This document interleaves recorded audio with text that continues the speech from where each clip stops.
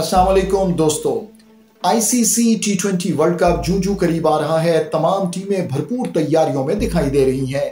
इस हवाले से इंटरनेशनल क्रिकेट काउंसिल आईसीसी के ऑफिशियल वेबसाइट पर पाकिस्तानी क्रिकेट टीम की फास्ट बॉलिंग के हवाले से एक खसूसी मजमून शाया हुआ है।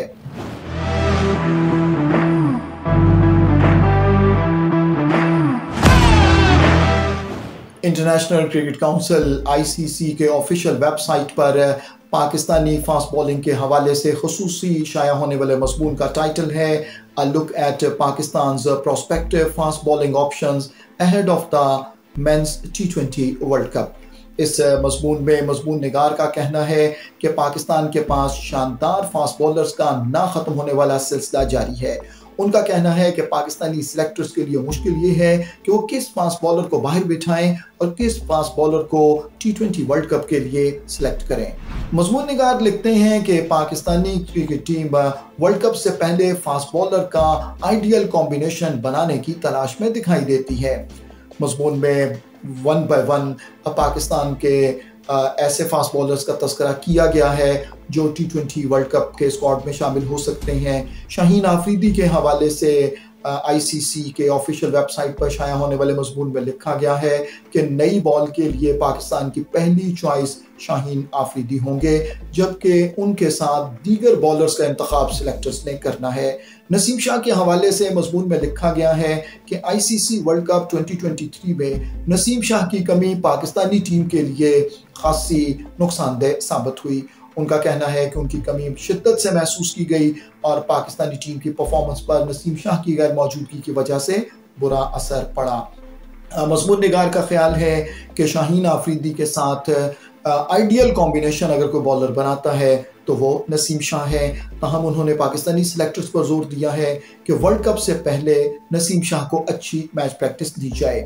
मोहम्मद आमिर की बॉलिंग पर तबसरा करते हुए मजमून में लिखा गया है कि आज भी मोहम्मद आमिर की बॉल बल्लेबाजों के लिए परेशानी पैदा करती है। मजमून में मजीद लिखा गया है कि माजी में आईसीसी इवेंट्स में मोहम्मद आमिर की परफॉर्मेंस नहायत शानदार रही है और वो वर्ल्ड कप में पाकिस्तान के एक अहम बॉलर साबित हो सकते हैं। हारिस रऊफ को मज़बूत में पाकिस्तान का प्रीमियम फास्ट बॉलर करार दिया गया है। ताहम इस बात पर तशवीश का इजहार किया गया है कि अभी तक हारिस रऊफ इंजरी से रिकवर नहीं हो पाए और मजमून में ये भी कहा गया है कि अगरचे हारिस रऊफ का इकॉनमी रेट पाकिस्तान के दीगर बॉलर्स के मुकाबले में ज़्यादा है, तहम उनकी विकटें हासिल करने की सलाहियत भी दीगर बॉलर्स के मुकाबले में ज़्यादा है।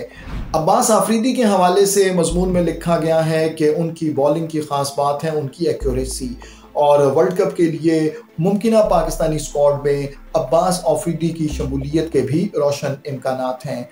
मोहम्मद वसीम के हवाले से मजमून में लिखा गया है कि अगरचे मोहम्मद वसीम की पेस एक्सप्रेस पेस नहीं है, जैसा कि हारिस रऊफ की है, लेकिन मोहम्मद वसीम के पास भी विकटें हासिल करने की भरपूर सलाहियत मौजूद है।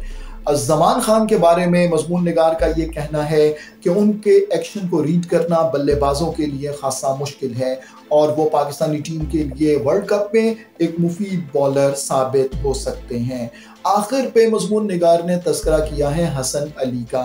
हसन अली के बारे में उन्होंने लिखा है कि फ़िलहाल Hasan Ali Pakistani T twenty team का हिस्सा नहीं है और वो इंग्लैंड में काउंटी क्रिकेट खेलने में मसरूफ़ हैं।